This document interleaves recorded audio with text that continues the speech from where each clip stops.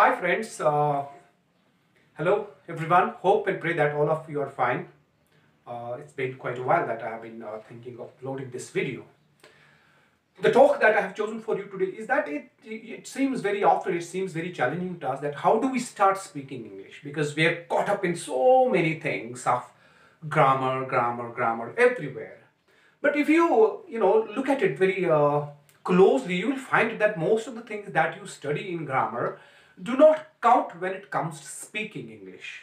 I do not undermine the importance of grammar. It's so important really. Yes, it is. But that is when it comes to uh, formal talking, when it comes to writing, in when it comes to speaking, very little of grammar is uh, you know used and very little of grammar is observed when it comes to spoken English. So today I'm going to tell you that how is it that with minimum use of grammar, how can you speak fluently, how can you speak effortlessly? You see, when, when we think about English, what stops us from, you know, uh, speaking English is the consciousness of not knowing the grammar. But the thing is that, is it really necessary that we should know all the grammar that is there in the English if we want to speak English? Certainly not. Say, for example, when you think of English language, you think of nouns, you think of verbs, you think of adverbs, adjectives, and so many things, interjections, conjunctions, prepositions, infinitives, gerunds, and tenses, present tense, past tense, uh, past participle, uh, participle uh, you know, uh, present indefinite, past indefinite, continuous, if perfect, perfect, continuous. And all this, you know, it, it, it bamboozles us that what do I do? There are so many things that have to be done, and I don't know. We feel like I don't know. But the question is, do we really need to know all these things? Well, if you ask me, we do need to know all these things, but that is when you are going for writing some examination, when you are caught up in some formal discourse. To begin with, to start to speak English, you really do not need all these things. You need to have an idea of it, but you don't need to know it all. For that matter, say for example, there are 12 forms of tense. There are 12 forms of tense when it comes to active voice and there are 8 more forms when it comes to passive voice. So 20 forms of tense. Do we really know, need to know all these 20 forms of tense to speak English? What if I tell you only two forms of tense that will enable you to speak very good English? And I can assure you that you would never ever be wrong if you use only these two tense forms.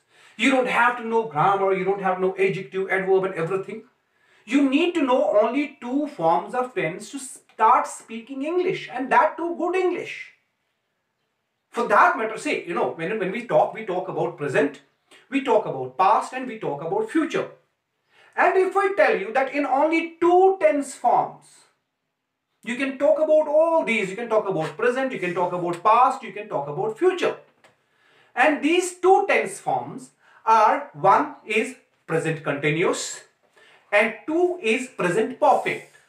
You need only these two tense forms to talk about present, to talk about past and to talk about future. When you talk about present, for example, we usually say Jack works in a bank. We use present simple for it. But do I tell you that majority of the speakers that I hear and I have heard, they usually say Jack is working in a bank and the meaning is very easily conveyed. And you are not wrong. You're not wrong because people do understand when you say my father is working in a bank rather than you say my father works in a bank. Although which is grammatically 100% correct to say my father works in a bank. But if you say my father is working in a bank, there is nothing wrong. Jack goes to school, Jack is going to school. In spoken English, it doesn't make much difference most of the time. 99% of time, it doesn't make any difference if you say Jack goes to school or Jack is going to school. So you can use present continuous for present tense for talking about what is happening in present. Although we use present simple for talking about routines, day-to-day -day routines, permanent routines. But if you use present continuous, there is nothing wrong. You can use present continuous for routines that are day-to-day -day routines, that are permanent routines. There is nothing wrong about it when it comes to spoken English. Although when we write, we have to be a little more careful. So my point, the first point is that you use present continuous for talking about present situations. Whether the situation is a permanent routine or for that, even if it is a temporary routine, for that we usually use present continuous. So, Jack is working in a bank. He is waiting for you. My father works in a government office. My brother lives in Delhi. or is living in Delhi, there is nothing wrong. You can use this present simple and present continuous interchangeably when it comes to spoken English especially. There is nothing wrong. So you can use present continuous for present tenses. Nothing wrong at all. And do I tell you, when it comes to talking about future, you can again use the same tense. You can use this present continuous tense to talk about future without having any shade of doubt without being conscious that you, you will never ever be wrong if you use present continuous to talk about future. For example, I'm going to Delhi tomorrow.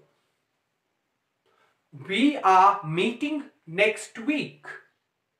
What am I doing is I'm simply using present continuous. I'm going to Delhi and then I do, I use an adverb of future time.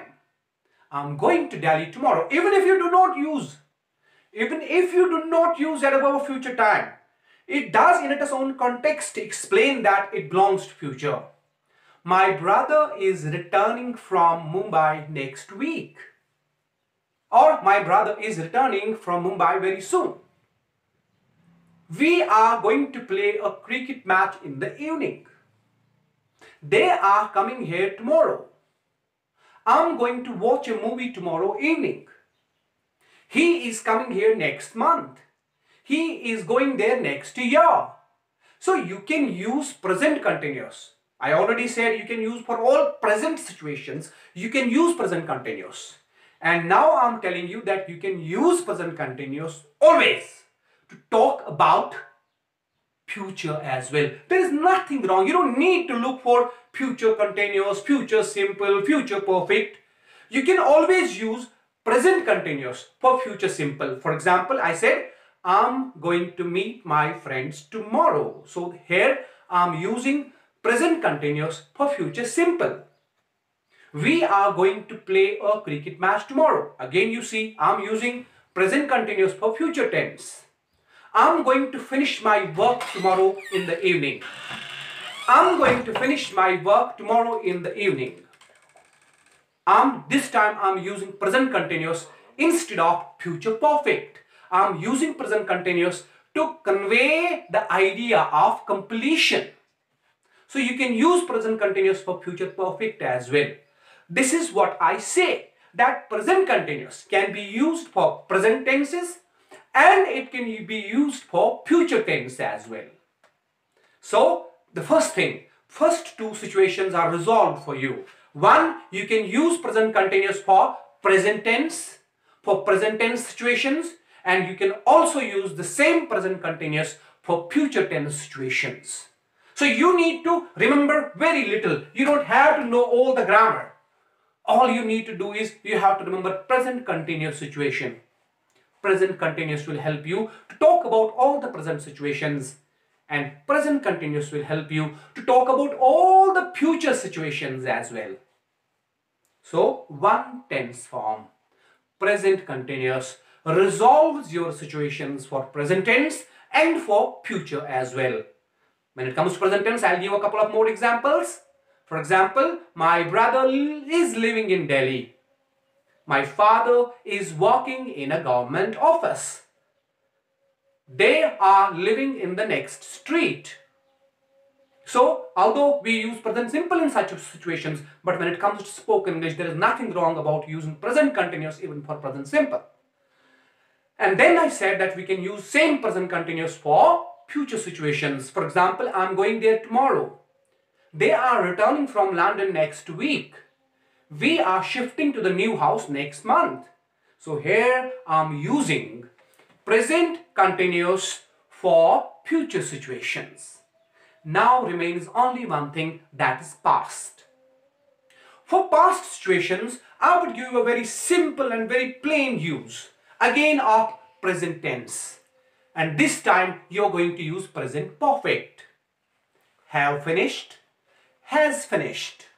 Now, I suppose you know when to use has and when to use have. Has is used when you use it for third person singular, he, she, it and all singular nouns. And have is used when you use it for plurals, when you use it for you, I uh, and all plural nouns. And Now, for example, I have finished my work. Although I am using present perfect, but I am talking about the past. I have seen many movies. I have uh, been there. He has won many awards. Although we understand when we use present perfect, we usually do not use the adverb of time. We do not give the perfect idea of time in the past. But when it comes to spoken English, who cares? Who bothers whether you use an adverb or you don't use an adverb? We usually, when we use an adverb of past time, we use past simple. And we use past perfect for past, present perfect for past actions when we do not use adverb of time.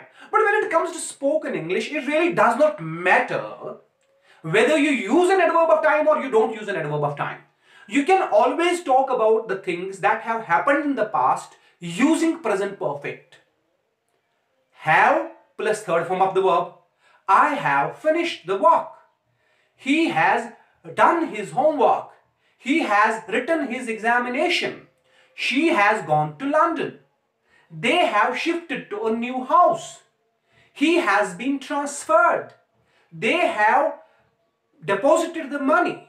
He has submitted the form, application form. So, boys and girls, what I want you to understand is that speaking English is all about talking about present, past and future.